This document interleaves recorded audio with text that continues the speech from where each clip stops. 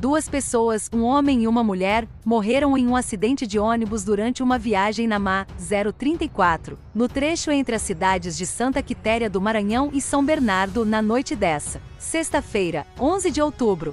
O veículo capotou na margem da rodovia, deixando também 10 pessoas feridas, inclusive o motorista, que já foi medicado e recebeu alta hospitalar. Ao todo, 21 passageiros estavam a bordo na viagem que ia de São Luís a São Bernardo. Uma das vítimas fatais morreu presa nas ferragens do veículo, a outra foi projetada para fora do ônibus. Elas foram veladas neste sábado, 12 de outubro, no povoados de Santa Quitéria do Maranhão. As pessoas feridas foram encaminhadas para os hospitais das cidades de Santa Quitéria do Maranhão e Parnaíba.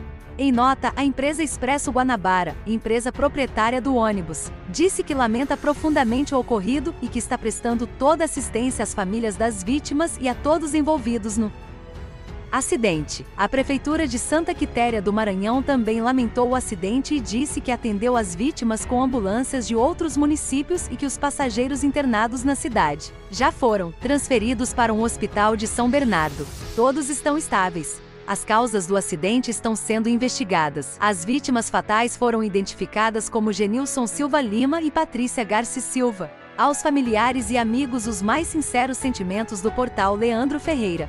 Portal Leandro Ferreira. Credibilidade com a notícia.